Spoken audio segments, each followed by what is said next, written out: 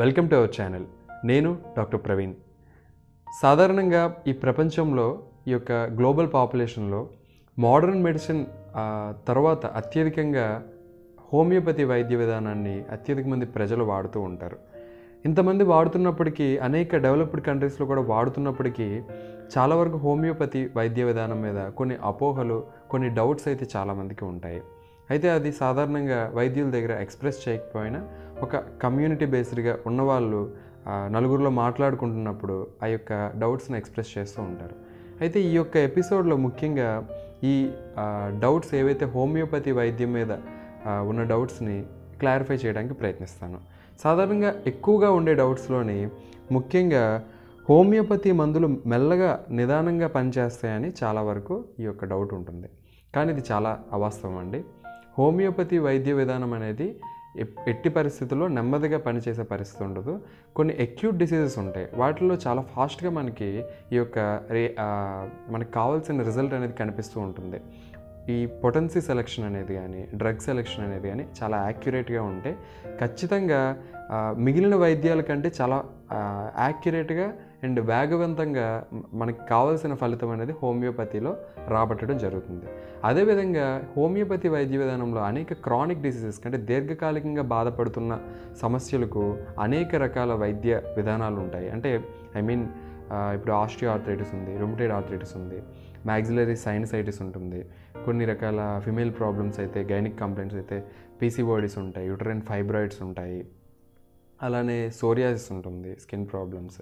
ఇలా చాలా రకాల దీర్ఘకాలిక సమస్యల్లో ఏంటంటే వాటి యొక్క టైం పీరియడ్ అనేది ఖచ్చితంగా ఎక్కువ పడుతుందన్నమాట. ఐ మీన్ ఆ సిమ్టమ్స్ని గ్రాడ్యువల్గా మనం తగ్గించుకుంటూ వాళ్ళకి ఆ యొక్క సమస్యను దూరం చేయడానికి టైం పడుతుంది.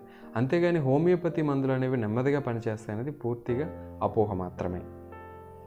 దీంతో పాటుగా ఈ యొక్క హోమియో మందులు వాడేటప్పుడు చాలా కఠినమైన పత్యాలు పాటించాలి. అంటే ఫుడ్ రెస్ట్రిక్షన్స్ పాటించాలి అనేది చాలా వరకు ఉండేది అపోహ అయితే ఒకటి ఇందులో హోమియోపతి మెడిసిన్స్ అనేవి చాలా డైల్యూ డైల్యూటెడ్గా ఉంటాయి. అంటే చాలా డైల్యూట్ చేసేసి హోమియోపతి మెడిసిన్స్ ప్రిపేర్ చేస్తుంటారు కాబట్టి అది మనం వేస్తున్నప్పుడు అది న్యూట్రలైజ్ అవ్వకుండా ఉండడానికి చాలామంది స్పైసీ ఫుడ్స్ తినద్దు అంటారు. అయితే చాలా వరకు అది ఒక వ్యాధి బట్టి అంటే ఫర్ ఎగ్జాంపుల్ గ్యాస్ట్రైటిస్ ఉందనుకోండి గ్యాస్ట్రైటిస్ ఉన్న వాళ్ళు స్పైసీ ఫుడ్స్ తినకూడదు. ఎందుకంటే దానివల్ల ఇంకొంచెం ఇరిటేషన్ అనేది ఎక్కువ అయ్యి ఎరిక్టేషన్స్ అనేవి వస్తూ ఉంటాయి. దాంతోపాటు రెస్పిరేటరీ కంప్లైంట్స్ ఉన్న వాళ్ళకి కొన్ని ఫుడ్ ఫుడ్ రెస్ట్రిక్షన్స్ ఉంటాయి. అలాగే ప్రతి డిసీజ్లోని ఖచ్చితంగా కొన్ని రకాల డైట్ ప్లాన్స్ కానీ ఫుడ్ రెస్ట్రిక్షన్స్ ఉంటాయి ఖచ్చితంగా.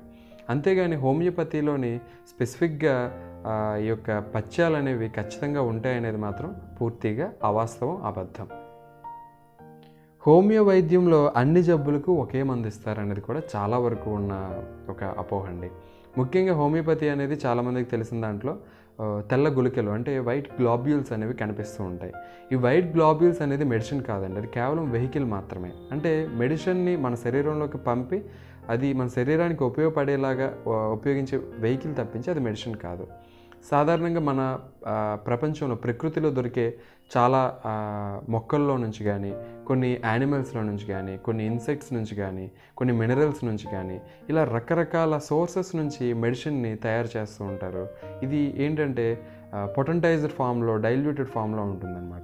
ఈ యొక్క మెడిసిన్ని ఆ యొక్క గ్లాబ్యూల్స్లో అవసరానికి తగ్గట్టుగా కలుపుతూ ఉంటారు. అంతేగాని అన్నిటికీ ఒకే మెడిసిన్స్ ఉండవు. ఈ యొక్క పిల్స్ లిక్విడ్సే కాకుండా హోమియోపతిలో బయోకెమిక్ సాల్ట్స్ కూడా ఉంటాయి. అంటే మన శరీరం అనేది అనేక లవణాలతో తయారై ఉంటుంది.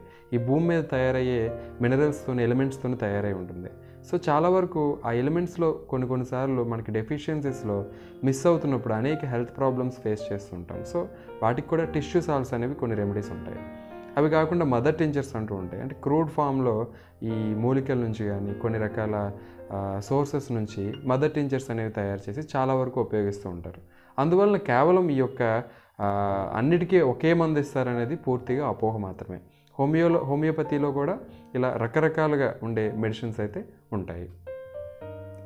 దాంతోపాటుగా హోమియో వైద్యం అనేది రోగాన్ని ఎక్కువ చేస్తుందని చాలామంది అంటుంటారు.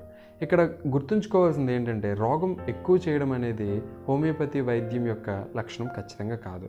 అన్ని రకాల పరిస్థితుల్లో రోగం ఎక్కువ అవుదండి కేవలం కొన్ని సిచ్యువేషన్స్లో అంటే అది లోపలికి ఇంకా డీప్గా డిసీజ్ యొక్క రూట్స్ ఉన్నాయంటే ఖచ్చితంగా మెడిసిన్ బాగా పనిచేస్తుంది అన్న అన్నప్పుడు ఆ సిమ్టమ్స్ ఇంకా ఎక్కువయ్యి అది ఎక్కువసేపు ఉండదు. అది కూడా ఒక hours or one day or two days ఇంతవరకే ఉంటుందన్నమాట. ఇది మనం గ్రహించాలి. ఆ ఆర్టిఫిషియల్గా ఏదైతే ఆ మెడిసినల్ ఎగ్రివేషన్ ఉంటుందో దానివల్ల ఆ తర్వాత ఆ మెడిసినల్ ఎగ్రివేషన్ పోయాక పూర్తిగా క్యూర్ కనిపిస్తుంది. సో ఈ యొక్క ఎగ్రివేషన్ అనేది మెడిసినల్ ఎగ్రివేషన్ అనేది మంచిదే తప్పించి దానివల్ల ఎటువంటి హాని జరగదు. ఇంకో విషయం ఏంటంటే అన్ని విషయాల్లో ఇలా ఎగ్రివేట్ అవ్వదు. చాలా రేర్గా ఇలా మెడిసిన్ వే వేయగానే కొంతవరకు సిమ్టమ్స్ అనేవి ఎక్కువ అవుతూ ఉంటాయి. అందువల్ల ఇది కూడా పూర్తి స్థాయిలో అపోహ మాత్రమే అని చెప్పాలి. కేవలం కొన్ని పరిస్థితుల్లోనే అది కూడా అయినప్పటికీ అది మంచి విషయంగానే మనం పరిగణించాల్సిన అవసరం ఉంటుంది. హోమియో వైద్యంలో ఏంటంటే ఒక మ్యాజిక్ లాంటి నివారణ ఉంటుందని అందరూ అనుకుంటారు. కానీ మనం గుర్తుంచుకోవాల్సింది ఏంటంటే హోమియో వైద్యం కూడా కొన్ని పరి పరిమితులతో ఉంటుంది. ఎందుకంటే కొన్ని సిచ్యువేషన్స్లో సర్జరీస్ అనేవి నీడెడ్ ఉంటాయి. ఎమర్జెన్సీ సిచ్యువేషన్స్లో ఫర్ ఎగ్జాంపుల్ యాక్సిడెంట్ అయింది. యాక్సిడెంట్లో చాలా బ్లడ్ లాస్ అయిపోతారు. ఫ్రాక్చర్స్ అవుతూ ఉంటాయి. సివియర్ కట్స్ వస్తుంటాయి. ఇలాంటప్పుడు ఖచ్చితంగా ఎమర్జెన్సీస్లోని ట్రీట్మెంట్ తీసుకోవాల్సిన అవసరం అయితే హండ్రెడ్ పర్సెంట్ ఉంది. ఇక్కడ ఎటువంటి మ్యాజిక్ కానీ ఎటువంటి మాయ ఎటువంటిది ఏమీ లేదు. మొత్తం హోమియో ఏంటంటే మనం దీర్ఘకాలిక వ్యాధులకు కానీ మనం ఎమర్జెన్సీస్ అంటే మరీ అక్యూట్ ఎమర్జెన్సీస్ కాకపోయినా సరే అలాంటి యాక్సిడెంట్స్ అవి కాకపోయినా ఫేవర్స్ కానీ కొన్ని ఎలర్జిక్ రైనైటిస్ సివియర్ ఆస్మా వచ్చినప్పుడు కానీ ఇలాంటప్పుడు వాడచ్చు. బట్ ఏంటంటే ఇలాంటి నేను ఎప్పుడు ఏవైతే చెప్పానో శస్త్రచికిత్సలు అవసరమైనప్పుడు కానీ ఎమర్జెన్సీ ట్రీట్మెంట్ ఖచ్చితంగా హైపోవలమిక్ షాక్ అంటారు. అంటే బ్లడ్ అంతా లాస్ అయిపోయాక బ్లడ్ ప్రెషర్ అనేది పడిపోతుంది. కానీ ఖచ్చితంగా ఆ టైంలో ఫ్లూయిడ్స్ అనేది ఎక్కించాల్సిన అవసరం ఉంటుంది. ఇలాంటి సిచ్యువేషన్స్లో హోమియోపతి వైద్యం కూడా లిమిటేషన్స్ ఉంటాయి. కేవలం హోమియోపతి వైద్యం వైద్యానికే కాదు. అన్ని రకాల వైద్యాలకి దానికి ఉన్న లిమిటేషన్స్ దానికి ఉన్నాయి ఇప్పటికీ మనం చాలా రకాల వ్యాధులకి డయాబెటీస్ కానీ హైపర్ టెన్షన్ కానీ చాలా వాటికి పూర్తి స్థాయిలో క్యూర్ని చూపించలేకపోతున్నాం. కానీ హోమియోపతి వైద్యంలో చాలా వరకు ఇలాంటి కేసెస్ కూడా వితౌట్ మెడిసిన్ సస్టైన్ అయిన పేషెంట్స్ ఉన్నారు. సో ప్రతి వైద్య విధానానికి కొన్ని లిమిటేషన్స్ ఉంటాయి. ఆ లిమిటేషన్స్ గురించి మనం అవేర్ అవుతూ వాటిని మనం మనకు అవసరానికి తగ్గట్టుగా యూజ్ చేసుకుంటూ ఉండాలి. హోమియో మందులు వాడిన తర్వాత మరి ఏ మందులు పనిచేయవు? ఇది కూడా చాలామందికి అపోహ ఉంటుంది. అయితే ఇది చాలా వరకు చాలా వరకు కాదు పూర్తిగా వాస్తవం హోమియో మందులు వాడి వాడినప్పుడు ఏ మందులు పనిచేయవనేది పూర్తిగా అవాస్తవం. మీరు హోమియో మందులు వాడాక తర్వాత ఏ మందు వాడినా ఖచ్చితంగా చాలా చక్కగా పనిచేస్తుంది. సో ఈ విషయంలో మీరు ఎటువంటి అపోహలు పెట్టుకోవాల్సిన అవసరం లేదు. హోమియో మందులు గర్భిణులకు వాడకూడదనే ఒక అపోహ ఉంటుంది చాలామందికి. ప్రెగ్నెంట్ లేడీస్ కూడా మన హోమియోపతి సిస్టంలో ఎటువంటి సైడ్ ఎఫెక్ట్స్ లేకుండా వాళ్ళ హెల్త్ని కానీ బేబీ హెల్త్ని కానీ సరిగ్గా ఉంచే చాలా మెడిసిన్స్ ఉన్నాయండి. సో చాలా హ్యాపీగా ఈ యొక్క ప్రెగ్నెంట్ లేడీస్ ఏదైతే ఉన్నారో కన్సీవ్ అయిన వాళ్ళు వాళ్ళు ఖచ్చితంగా హోమియో మెడిసిన్ ప్రిఫర్ చేయొచ్చు.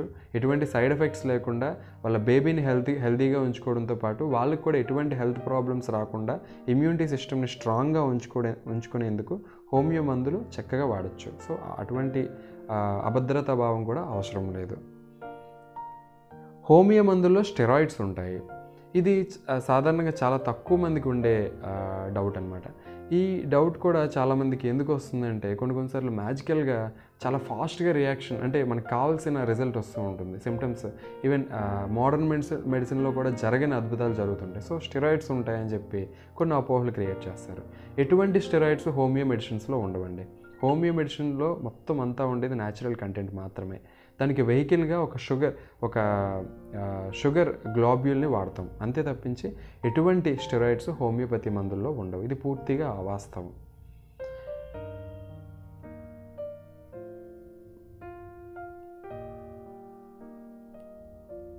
హోమియో వైద్య విధానంలో చాలామందికి ఏంటంటే అపోహ వీళ్ళు బ్లడ్ టెస్ట్కి పంపించరు. ఎటువంటి స్కానింగ్స్ అవసరం లేదు.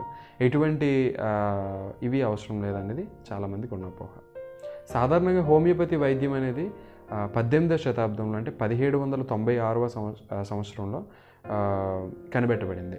అయితే అప్పటికి ఉండే వైజ్ఞానిక పరి పరిస్థితులు కానీ సాంకేతిక శాస్త్ర సాంకేతిక రంగంలో అంత అభివృద్ధి చెందలేదు కాబట్టి అప్పుడు ఈ యొక్క టెక్నాలజీ లేదు కాబట్టి అవి ఉపయోగించుకోలేకపోయారు. కానీ ఇప్పుడు మనకి డయాగ్నోసిస్ చేయడానికి అంటే ఒక డిసీజ్ని ఇదే ఆ డిసీజ్ అని చెప్పుకోవడానికి ఖచ్చితంగా మనకి చాలా టూల్స్ ఉన్నాయి దొరుకుతున్నాయి. ఈ టెక్నాలజీ వల్ల. సో ఖచ్చితంగా హోమియోపతి వైద్యంలో కూడా ప్రతి వైద్యులు ఏమైనా మనకి ఇన్ఫెక్షన్ ఉన్నా సరే లేకపోతే ఏమైనా స్ట్రోక్ వచ్చినా సరే అంటే ఒక ఎంఆర్ఐ స్కాన్కి బ్రెయిన్ బ్రెయిన్ ఎంఆర్ఐ స్కాన్ పంపించాలన్నా ఖచ్చితంగా వాళ్ళు కూడా పంపిస్తూ ఉంటారండి.